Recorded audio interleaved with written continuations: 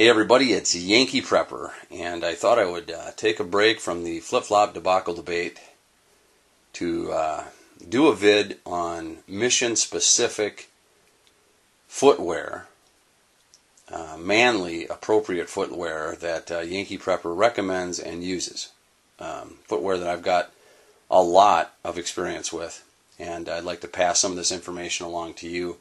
I've mentioned doing this vid once before on uh, East Coast Preppers uh, blog TV when I was on there one night, and uh, he thought this was a good idea, but I, I just never got around to it, and it seems like I'm I'm uh, I'm having some fun here with uh, videos that I always wanted to do but never got around to, and this seems like a very appropriate time to salvage some information from all this and uh, maybe pass it along to you as well. Um, take it for what it's worth and uh, get what you can out of it. Some people are probably going to be freaked out on how much footwear I'm going to show here. Maybe some, maybe not others, but uh, some people I know are going to be freaked out. But I'm really into mission specific uh, bootwear, or the environment you're in or what you're doing. And uh, you know the military has proven and really believes in the fact that uh, you know your your uh, soldier's foot condition can can uh, make you or break you. they figured that out a long time ago, and that's why they put so much effort and time and money into issue boots. Uh, and that's one of the reasons why I carefully pick boots for uh, for what I'm doing as well. Now, the footwear I'm about to show you, uh, most of them are not cheap, but um, usually in footwear you get what you pay for, and I would really recommend that you buy the best shoes that you can get for your feet because in the long term it's going to pay off with longevity. Some of the boots I'm about to show you have a ton of wear on them, and I've had them for literally decades, half my life, and they're still usable. And I, uh, I believe most of them that I'm about to show you will last another 20 years. The first one I'll show you is these LaCrosse uh, boots. They're not a hiking boot. They're more of a sit still, made in the USA, La Crosse, Wisconsin. And I bought these over 20 years ago. 20 years ago, guys. They're extremely warm. They're not made for walking around. They're made for sitting in very uh, cold deer stands on those cold days, or ice fishing, or just sitting still. They're pretty quiet, very comfortable, and uh, again, the longevity on them. They're over 20 years old, and I mean, they're like the day I bought them. I just put some uh, saddle soap on the uppers once in a while, and that's how they keep. Okay, the next set of boots are my hunting boots, and uh, that's their mission specific purpose. Uh, I paid $90 for these. They got about uh, 200, I think it's, no, I'm sorry, 2,400 milligrams of Thinsulate in them. They're very warm, uh, but they're kind of a hybrid in between hiking and, and sitting still. So you can, you can sit in those cold deer stands, it just can't be 20 below, you know. Uh, they're, they're not as warm as the LaCrosse, but you can hike around with them. They're not the best hiking shoes, but you can walk around with them on those turkey hunting days or you know on those cold days that you're going pheasant hunting in the fall. They've got high gator sides on the side too that are snake proof and they're totally waterproof. And I think I said 90 bucks. Third pair are my Steger Mukluks, and these are definitely not cheap. Uh, you're probably upwards to $200. I bought them about 10 years ago. They've got moose hide lowers and uh, canvas sides, and they're designed by Steger Mukluks in Ely, Minnesota. Again, a very expensive boot, but incredibly warm. I mean, these are like, I, you know, sometimes I believe they're magic. Um, I've had them snowmobiling. You can walk around a lot with them. Uh, you can walk long distances with them. They're extremely comfortable. Uh, the only uh, downside is they're not the most durable. Now, having said that, they've lasted a decade and they're almost like new. The pads are still really good on the bottom. Um, but they won't, you know, they're not going to take a lot of heavy brush and sticks can puncture them. You've got, you know, they're made mostly for you know, wintering uh, over snow, things like that. Whereas these are extremely durable and can take a lot of punishment. But these Steger mukluks are incredible. Uh, and I don't know. I, I wear them uh, all the time, even during the wintertime here, going uh, to the stores. And, you know, up here you can get away with that. People aren't going to look at you wearing Steger mukluks. Uh, for other people, it might be kind of a stretch if, if you care about people looking at you. I really don't anyway. But uh, these are extremely uh, warm and comfortable boots uh, made well. Okay, the next ones I'm showing you are my favorite. You know, I mean, all of these are my favorite mission-specific boots, but uh, these definitely hold probably the top the top uh, spot. I bought these over 20 years ago.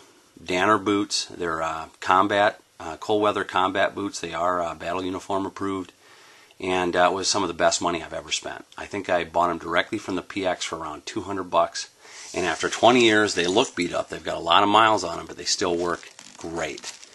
Uh, same soles, original soles. The only thing I've done is put, uh, you know, a uh, insole in them to give a little more cushion after all these years of pounding them down. But this is great money. I mean, you know, split that up over over uh, 20 years, $200, and it's it's nothing. And these boots are incredible, and I, I know I'll, I'll use them again and again and again. They're very warm, very comfortable. You can hike around all day in them, and uh, it, will get you through the worst weather. And they also have that uh, Thinsulate in them, or the, you know, whatever that stuff is that uh, wicks the uh, sweat away from your feet. Uh, they breathe well, so you can use them. You know, you don't have to use them in extreme weather. Uh, I use these for uh, training up in Alaska for some cold weather survival training, and uh, just an incredible boot worth every dollar. Still use them all the time. The next set of boots I have here, I definitely have a lot of miles on, and uh, I've used them a lot. They're extremely comfortable and well-built boots. They are mission specific for sure, and uh, they are military issue boots uh, specific to MOS. I think they cost 40 or 50 bucks at the PX. And I'm going to let you guys take a guess at uh, what kind of boots you think these are. They do not have laces on them. They come with leather straps. And we can do extra brownie points for what you think the leather straps are for and why they don't have uh, laces. I'd like to uh, see if anybody can uh, guess what kind of boots these are and, and, and why they're built the way they are.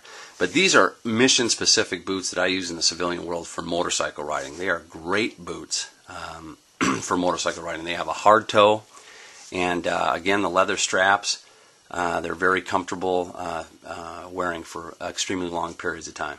And if you're on a motorcycle and you're riding cross country, uh, you can only move your feet around in so many directions, and that's what makes these boots so great to be able to sit there and uh, be so comfortable for long periods of time in, in just a, a couple different positions.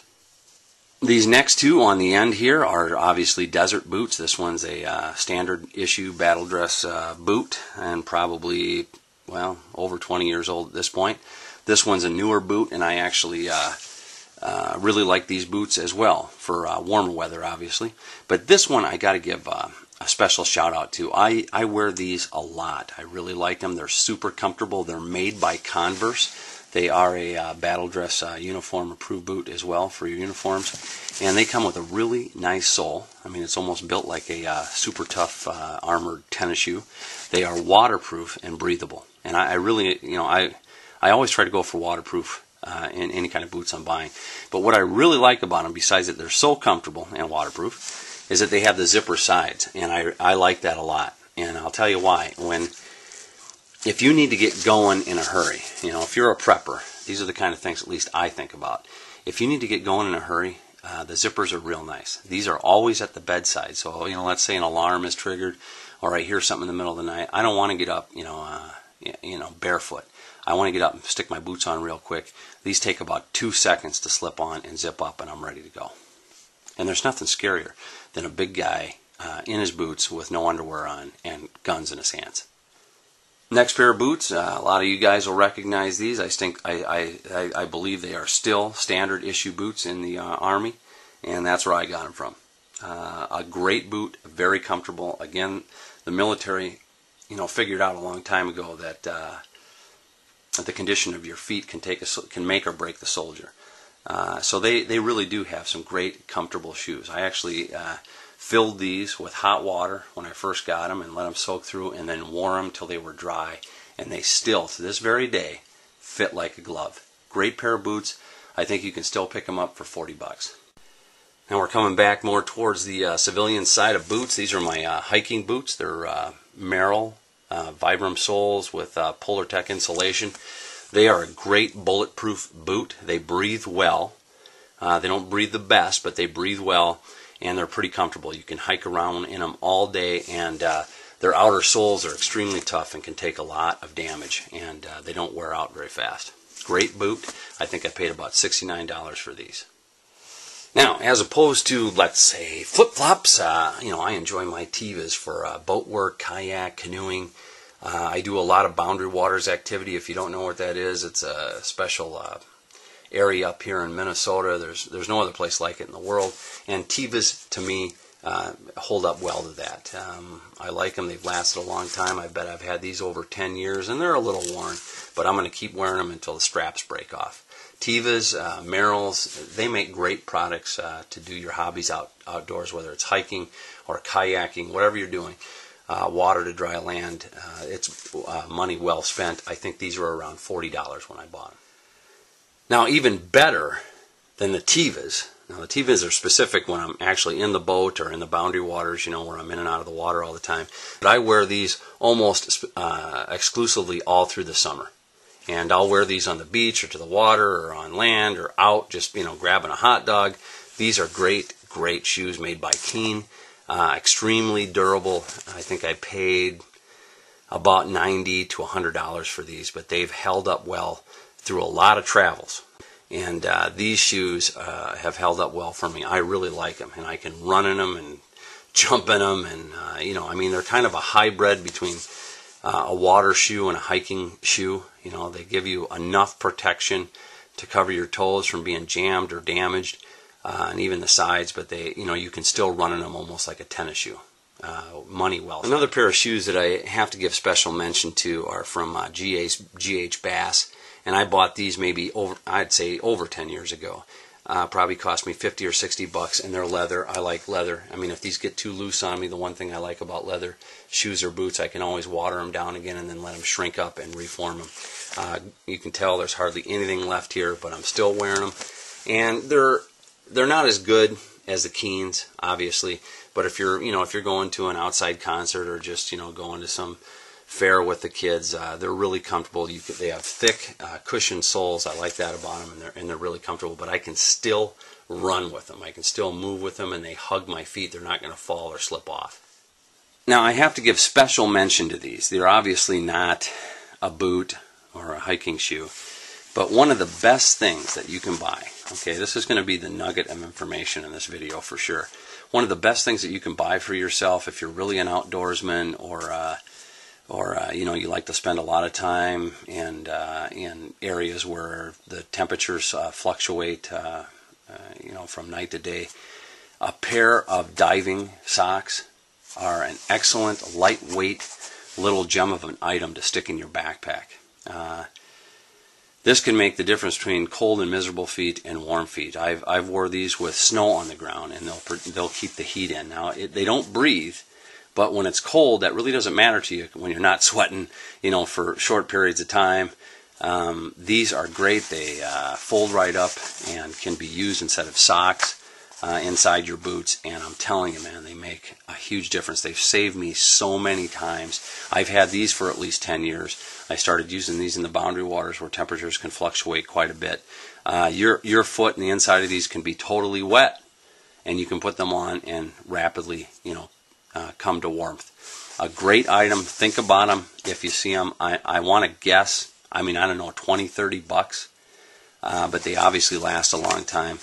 They're thick. You know, they're like they're like a, a diver's um, outfit, and uh, they really will keep your feet super warm in those uh, situations where uh, cold is a factor.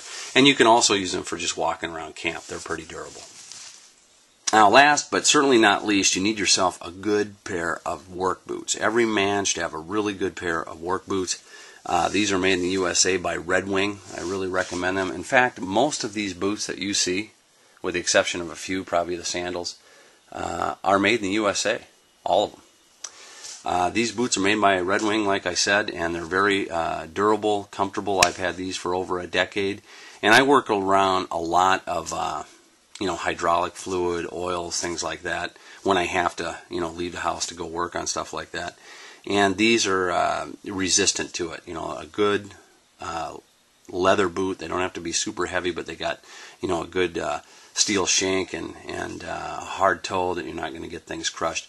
And what work a work boot does for you is it preserves your other boots, so you don't have to wear them and and uh, scum them up and damage them and that'll help the longevity of the rest of your shoes by having a good pair of work boots to go to.